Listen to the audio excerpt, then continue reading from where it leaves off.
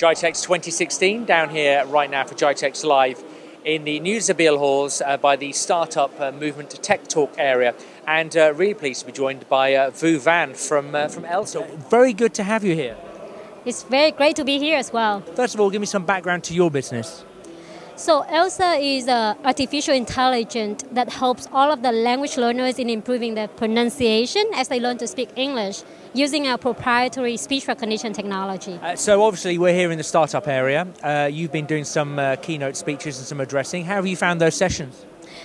It was really inspiring. I think we had really good audience here, very good questions. And after the keynote speaking, I got approached by a lot of people who are interested about the solution, what we can do for the Middle East. Uh, can we teach Arabic using ELSA technology in addition to English? And the answer is yes. So it's just a more matter of like future collaboration. And I think it opens up a lot of door for us in the future. Over the last three months, our user base in the Middle East has grown very fast and it's all organic and that led us to believe that there's a big need here for the language learning solution so we want to start building local team here and this is opening a very good door for us to get access to talents know who's playing what in this industry as well as who to contact in the future so i think it's good uh, this year, of course, the uh, the uh, the very first startup movement for GITEX. Uh, obviously, you're a startup. What uh, what advice would you give to any prospective startups watching this right now?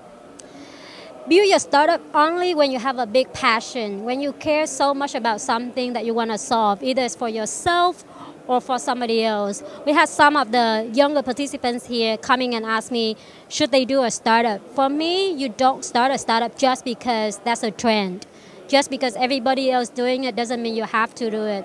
But you should do it when you actually found your passion and your calling in life and you want to solve that problem for yourself and for others.